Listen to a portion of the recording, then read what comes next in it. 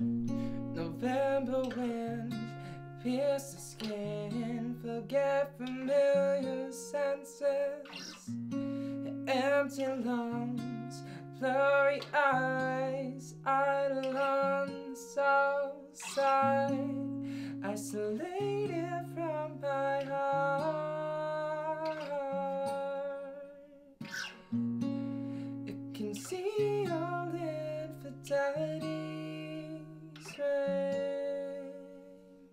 I take a lot of personal experiences. Um, one thing I find really uh, useful for lyrical content is um, talking about or describing a story that maybe you've heard in a book or like watched a movie of.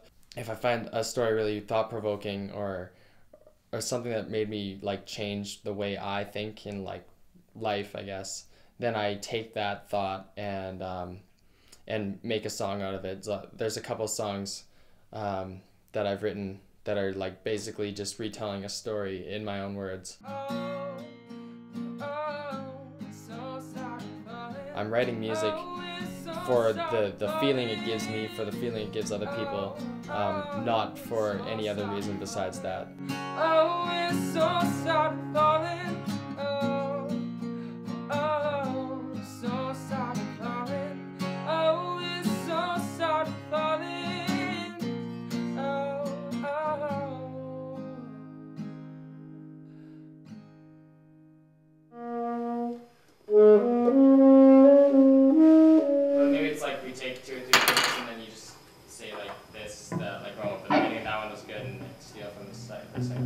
Yeah.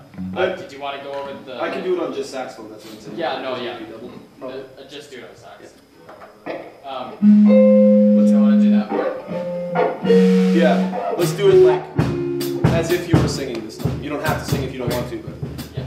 Um, so the way I write songs in my group, uh, Bears in Hazenmore, we uh, I come up with a riff or, or something on the piano or a guitar lick that uh, that I really really like or, or a chord progression, and then uh, I'll take it and play it enough times that I can start to get it in my head and start actually enjoying it. Because if you if you don't enjoy the lick yourself, then you can't really play it.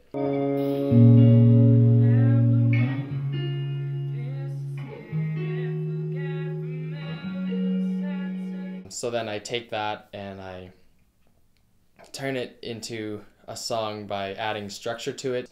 I find if you if you do the whole verse chorus verse chorus um, repetition in all of your songs, you start becoming really predictable. Um, so I really get heavily involved in how I'm going to structure my song, and then uh, from there I add lyrical content, usually something I've written um, outside of the musical content, and then trying to fit it in. All right, so uh, we're heading to Saskatoon for the weekend. We're gonna start recording our uh, debut EP with Bears in Hazenmore. Start bright and early tomorrow morning. I get to meet Jordan as he's our producer for this project, and hopefully we have a good connection with him.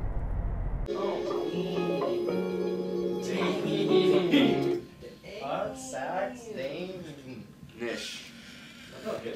Yeah, I think that see you rocking like that. I think I'm pregnant.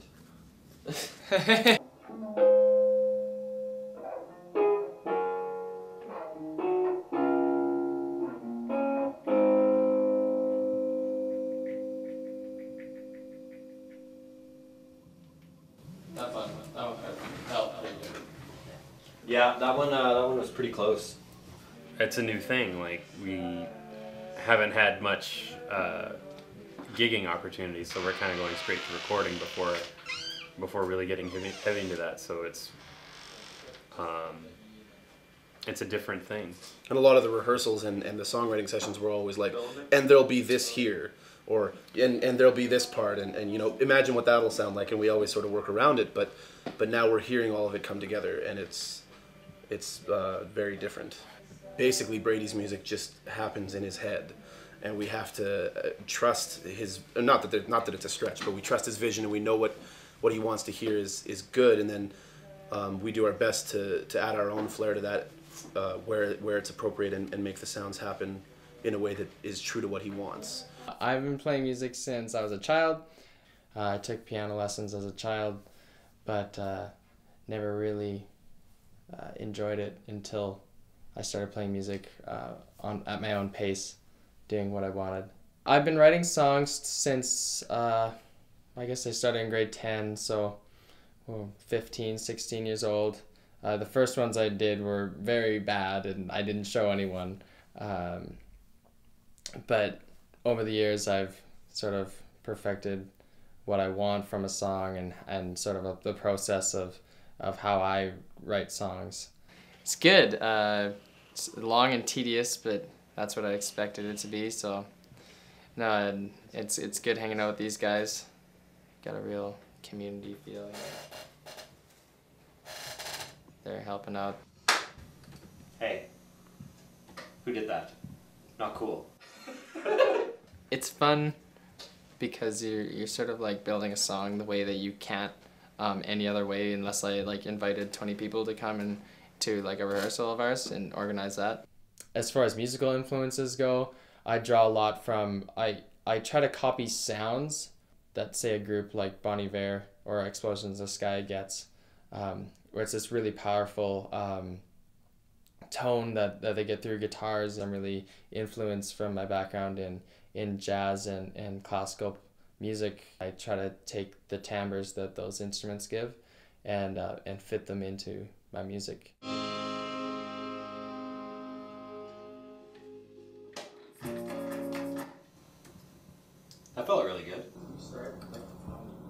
I, yeah, I sort of thought the first until everything I wanted. So the recording experience was really cool. Uh, getting to go through the process of, of recording a song and or I guess three songs and um, and learning about recording and and how Jordan works and stuff was really cool. Uh, we got to do a whole bunch of work with um, changing songs on the spot and adding new things and it was it was a lot of fun. It's exactly what I want to do with my life. Once we get this, then we can start do, looking at tours and playing shows locally or in uh, in other cities around the province too. So it's a it's a really exciting time. Um, I'm really looking forward to getting my recordings out there.